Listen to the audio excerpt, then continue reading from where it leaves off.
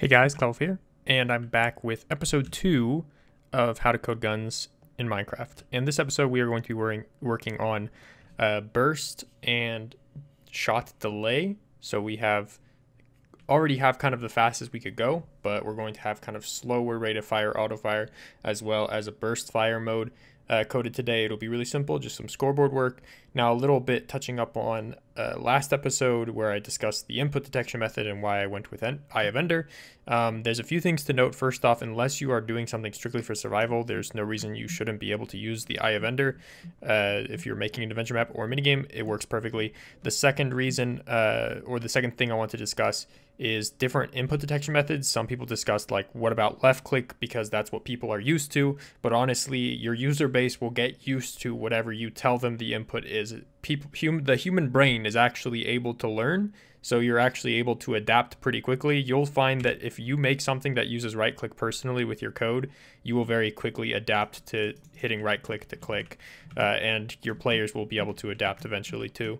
Uh, another thing is uh, crossbows or bows using the using item, which do not require an eye of ender. Those are nice, but also they become very big challenges to animate and get working properly because you can see that it does all this weird movement.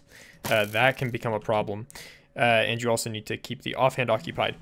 Uh, knowledge books are a was a good thing to bring up, though it is not a good option because when you use a knowledge book, it is consumed. When you use an Eye of Ender and there is no Ender portal, it is not consumed.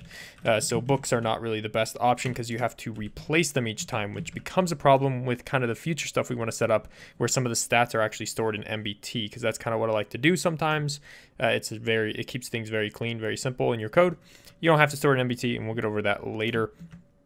Uh, and then the final option is using a carrot on a stick and then using scoreboards to control to get a higher fire rate. That's okay, but you will always be bursting. So if you want to get the fire rate like this, this fast, you need to basically make a carrot on a stick fire automatically and it needs to always be burst fire uh, so every single full auto weapon faster than four times per second will become burst fire. That's a little bit annoying for users. Um, you can't stop a burst fire once you click it. That's weird. The other problem is it has higher latency. So again, it only updates four times, four to five times per second. It might be five, it might be four. I don't test myself, but it updates four or at best five times per second, which means that it is four to five times slower than using an Eye of Ender. So the users, when you're in uh, high intensity situations like PvP, they're really going to notice that latency.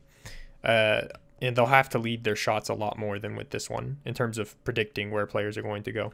Uh, anyways, so all of that summarized, I think that's all I wanted to get to because today's video is going to be pretty short, um, but we're going to be going over burst fire, auto fire, and cooldown. So I'm going to be, so the first thing we're going to need is a couple new scoreboards and to mess around with some of these main and tick functions. So the init function is a function that is ran when the scoreboard uh, when the game starts or when you type slash reload. So we're going to do scoreboard, objectives, add, cooldown, dummy. Now, if you have a namespace, I would suggest, or a special namespace for this if it's not, if it's something you intend other people to use. But for the most part, you can go get away without using a namespace, but you could do something like CW dot or your initials dot. Uh, but I prefer to just not use namespaces because most of my projects are not something I intend for other people to use. Uh, we're also going to want a scoreboard called stats that's a dummy, and I'm just going to move this above. Uh, we're also going to want a scoreboard called auto delay, and we're going to want a scoreboard called auto fire. And really, these are the majority of the uh, scoreboards that we're actually going to need for this entire system. You pretty much need a scoreboard for anything that you want to keep as a timer between ticks and you kind of need these all separate for at least this system but most of the other things we're going to do in this you can use fake players for everything okay so we're going to do execute as at a and we will specify this later but let's go run function and then let's go uh, gun colon or guns, gun, yeah, singular, gun colon main underscore player. So this is a main function or a ticking function that is played at all the players. So I'm going to make a new function called that. And the point of this is just so I can use at s anytime I have a specific player so you don't get any multiplayer issues mixed up because uh, it will handle each of these functions separately for separate people. Okay, so inside the right click input, we're going to change it from saying click to doing tag at s add shoot. And more specifically, at s scores equals cooldown equals zero. So if you have no cooldown, then shoot. And that is going to be important for later. Uh, okay, so in here, you have to do execute if entity as tag equals shoot run function gun colon shoot slash start. So this is just going to be a normal fire is going to be shoot slash start. So we're going to make a folder called shoots and we're going to make a function called start. Okay, and my convention is I just kind of use start whenever it's like a normal entryway into a folder and what is going on in that folder. So I'm going to make this do say shoot. Okay, so you can hit oh, and you need to do tag at s remove shoot. That way it doesn't get stuck. So if I type slash reload and then the only other thing you need to do is inside here, you need to make everybody's score zero. So scoreboard players add at a cooldown zero. If you don't have cooldown of zero, then you won't be able to shoot. And we'll just make sure that you add that if like new players join, they get that. There you go. So it'll say shoot every time I click, and it'll keep saying it if I hold it. The reason that we did this separated with a tag is it makes it a little bit easier to synchronize the events going on and making sure that only one thing happens at a time. So inside of here, we're going to do a couple things. So when you shoot, you need to apply the cooldown. So we're going to use scoreboard players operation at s cooldown. So your cooldown score comes from cooldown that is on stats. And of course, it doesn't have anything populated there yet. It's a fake player. It will eventually self-populate, but for now we are going to populate it ourselves. The other thing you want to do is do auto fire from stats and auto delay from stats. Okay.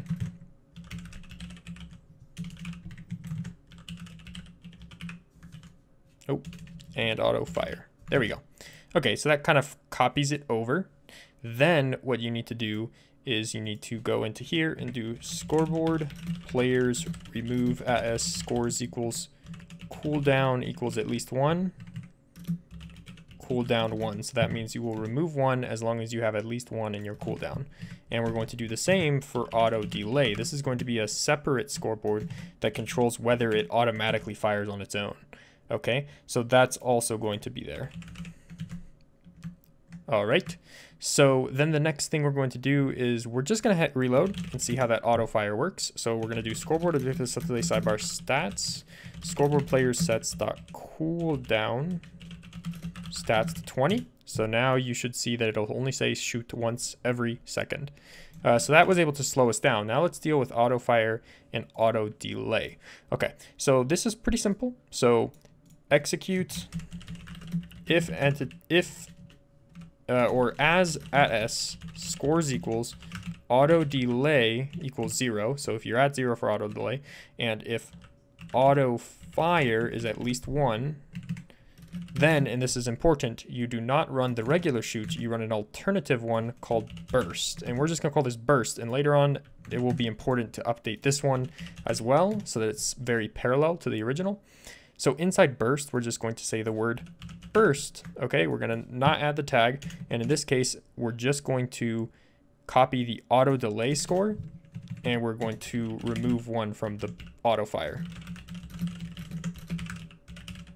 So what this essentially is going to do is when you shoot, it's going to set a score for cooldown and auto delay. And as long as auto delay is less than cooldown, auto delay will count down to zero before cooldown reaches zero. And auto delay will count to zero and for each auto fire variable, it will run burst. So it'll run burst, remove one, then it will reset the auto delay stat, run burst, remove one, reset the auto delay stat. Okay, so let's do scoreboard player set the auto delay stats to two. So this means every two ticks, two ticks happen in between your shots. So you will do first shot, then you will do a tick and uh, two ticks, and then you will do another shot. Okay, so then we will set auto fire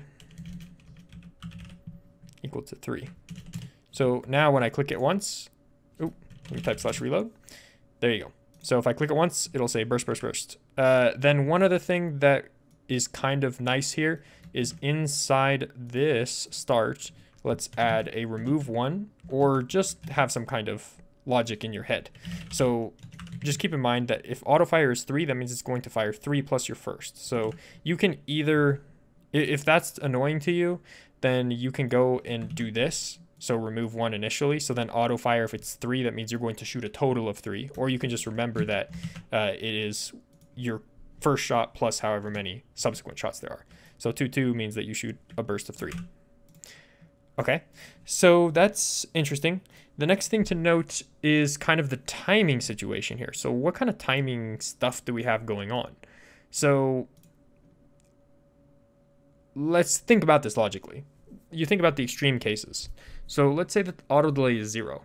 Okay, so if auto delay is zero, then what will happen is we come into here auto delay will be set to zero. This will check auto delay and it will immediately fire the burst. So what you actually want to do is reverse these orders just to avoid that. Now, whether these scores tick before or after doesn't have a huge impact on your timing, but these two do need to be switched in case you have a case where for some reason auto delay is zero, it won't shoot two in the same tick. So this will keep them from shooting two in the same tick essentially. Uh, yeah. So now let's think again. So if we put it to zero, then the next tick, this will not count down, and it will just fire this.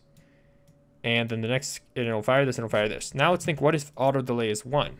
Okay, if auto delay is 1, then you have basically one tick between each fire.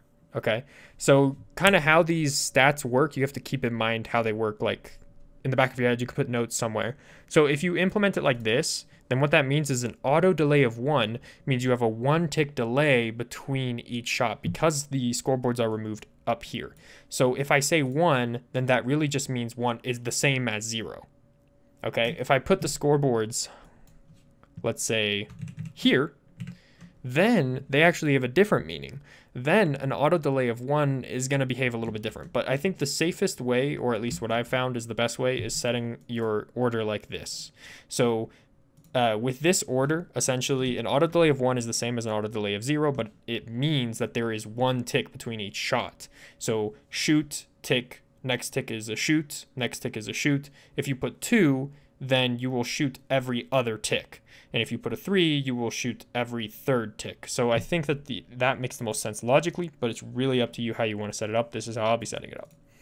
Okay, so that's everything. So we hit reload and uh, we have this burst, burst, burst, shoot, burst, burst, burst, shoot, burst, burst, shoot, burst, burst, shoot, burst, burst, just like that. Now, do not let the cooldown become lower than the combined auto fire plus burst rate. Otherwise, any additional ones will just be thrown away. Other than that, that's pretty much everything for this very basic scoreboard manipulation. Hopefully you guys thought that was interesting it was a little interesting to me, but it's going to get a whole lot more interesting when we start throwing all these pieces together. Anyways, guys, thanks for watching, and I'll see you next time. Peace.